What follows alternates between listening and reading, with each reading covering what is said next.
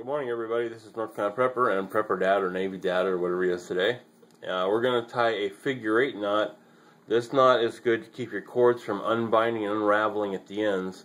Uh, this is a non-binding knot, meaning you can easily undo it and it won't bind on itself. So let's go ahead and do this. It's a figure eight knot. Okay.